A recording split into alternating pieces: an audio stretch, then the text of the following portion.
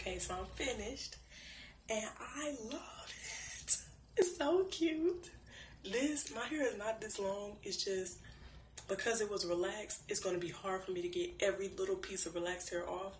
So what I'm going to do is when it dry, like when it's dry completely and picked out, I'm going to go over with the clippers and get the little bit of relaxed hair still on top. Like if you see closely, like that, that, that's still relaxed hair.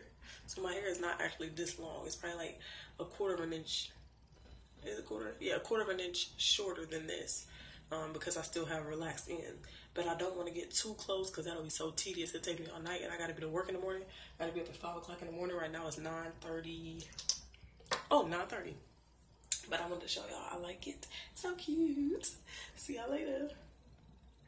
I like it. It's so cute. See y'all later. Bye-bye.